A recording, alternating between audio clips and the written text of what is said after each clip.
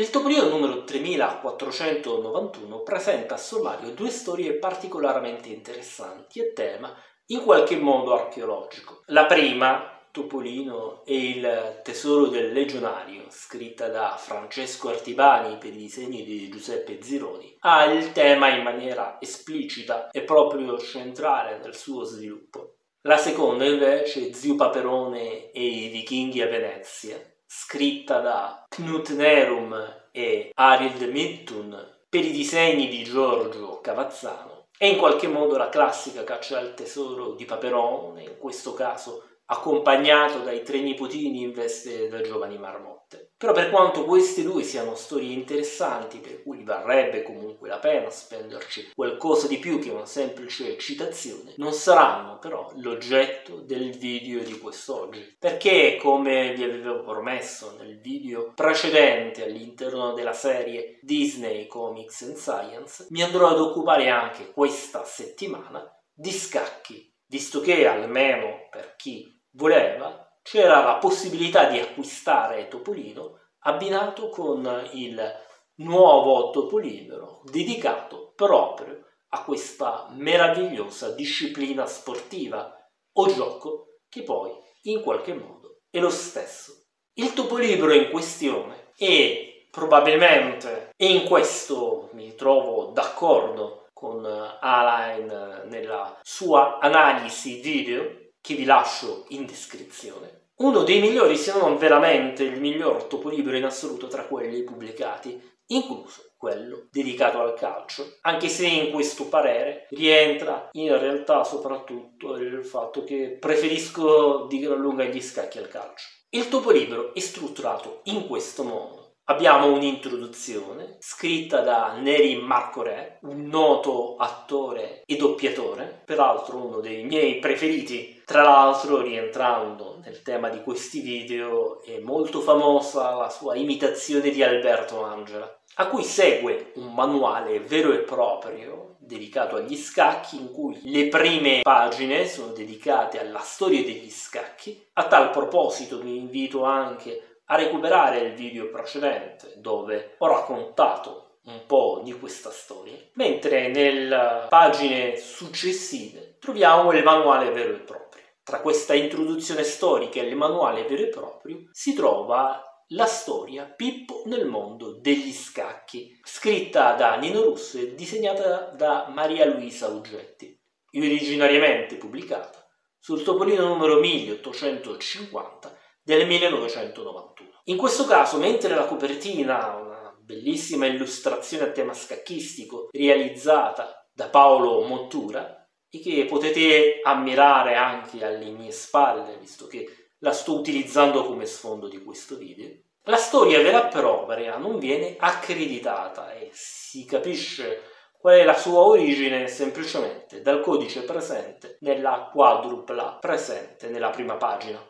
La storia, che era uscita sul numero privo di redazionale a causa di uno sciopero dei giornalisti, è stata in questa occasione ristampata con diverse vignette tagliate via e una riduzione di la metà complessivamente delle pagine con cui uscì su Topolino. In qualche modo è un vero peccato, in realtà di questi rimaneggiamenti me ne ero accorto già nel corso della lettura perché mancavano alcune vignette, inclusa una bellissima splash page, che in realtà rendevano la storia molto più appassionante e soprattutto anche dal punto di vista didattico molto più interessante di come non è risultata in questa versione ampiamente rimaneggiata. Tra l'altro, per eh, far rientrare in tentare almeno di rientrare il senso logico delle varie porzioni con cui è stata tagliata, sono state anche modificate due o tre battute qua e là. Onestamente non l'ho trovata neanche una cosa molto ben fatta nel complesso. E questo al di là di come ricordavo che fosse la storia.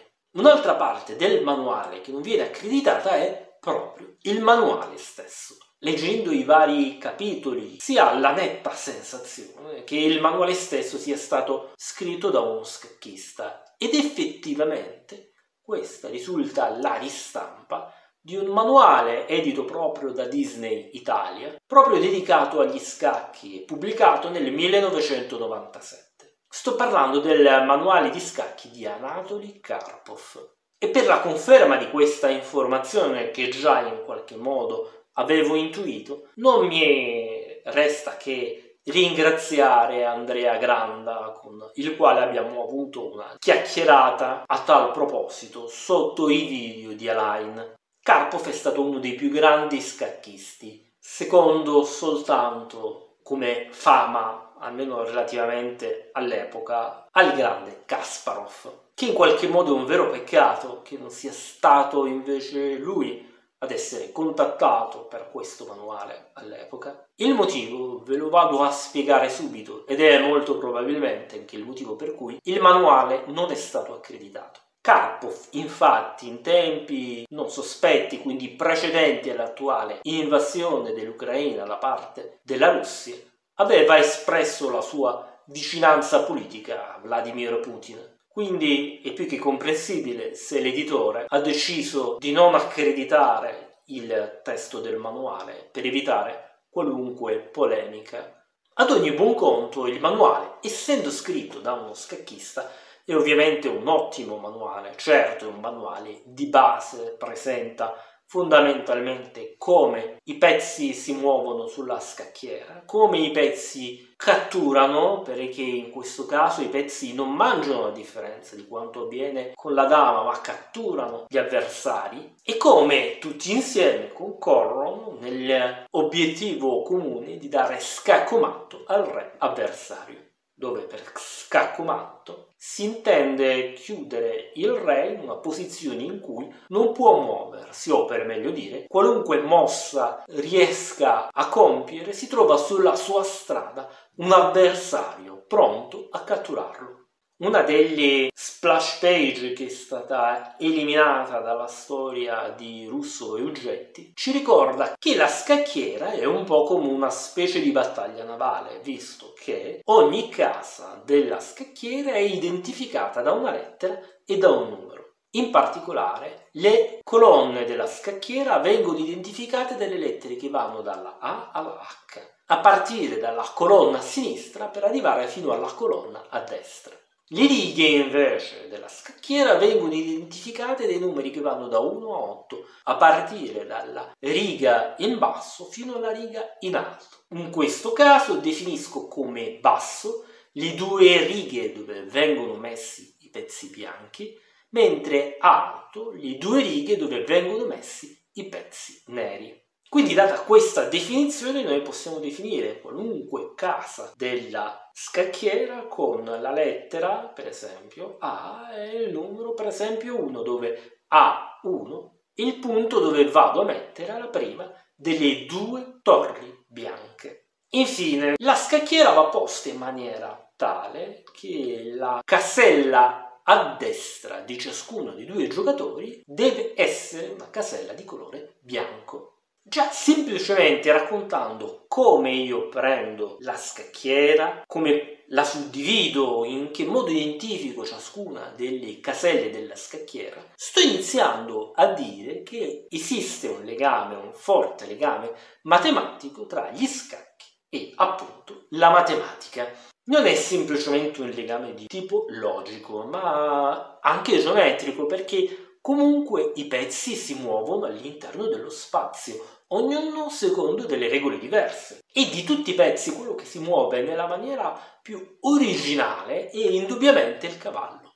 Il cavallo fa il cosiddetto movimento delle due case verso destra o sinistra, tre case verso l'alto o il basso, oppure tre case verso destra o sinistra, due case verso il basso oppure verso l'alto. Da un punto di vista più strettamente geometrico, il cavallo si muove lungo una delle due diagonali di un rettangolo di base 2 altezza 3 o viceversa, base 3 e altezza 2. Avendo quindi questa visione qua del movimento del cavallo diventa più semplice provare a risolvere un problema molto matematico che molti matematici hanno provato appunto a risolvere, ovvero il cosiddetto giro del cavallo. Ad affrontare questa sfida alla scacchiera e al cavallo ci hanno pensato matematici come Pierre Raymond de Montmort nel 1708, Jean-Jacques Durtus de Mairan nel 1725, Abraham de Moivre nel 1722 e finalmente, ecco, la soluzione, grazie al matematico svizzero Leonard Euler nel 1759. Questa soluzione venne successivamente generalizzata da Théophile van der Monde nel 1771 e Peter Marc Roget nel 1849. La soluzione è fornita con uno schema in cui ogni casella, ogni casa degli scacchi identificata da un numero. La casa di partenza in basso a sinistra è identificata col numero 1. Da lì il cavallo si andrà a spostare sulla casa numero 2, poi 3, 4, eccetera, eccetera, fino ad arrivare alla casa numero 64. Da lì ci vorrà un'ultima mossa per giungere nuovamente sulla casa numero 1. Questo perché l'obiettivo di Euler era quello di trovare un percorso chiuso della scacchiera, cioè un percorso in cui il cavallo iniziasse in un punto e finisse alla fine nello stesso punto, ovviamente senza ripassare più di una volta su una casella. Un altro aspetto molto interessante del cammino del cavallo venne scoperto nel 1836 da Teodoro Ciccolini che riuscì a identificare alcune forme geometriche di base all'interno del cammino del cavallo, in particolare scoprì la forma della losanga, cioè il cammino del cavallo può essere rappresentato sovrapponendo varie losanghe una sull'altra. In questo modo il matematico italiano riuscì a suddividere in realtà il cammino in due pezzi, uno per la metà sinistra e uno per la metà destra. Inoltre scoprì che questi due cammini, queste due strutture apparentemente disgiunte potevano essere messe insieme proprio da una mossa del cavallo. Sperando che queste curiosità matematiche sulla mossa del cavallo siano state interessanti. Non mi resta intanto che anticiparvi qui sul canale cercherò di pubblicare un po' più di contenuti a tema scacchistico, unendo, comunque alternando, robe un pochino più matematiche con altre invece molto più centrate su partite storiche. Per cui non mi resta che invitarvi a iscrivervi al canale e attivare la campanella per ricevere le notifiche su tutti i nuovi video caricati e ovviamente darvi appuntamento al prossimo video, che sia scacchistico o meno. Saluti a tutti!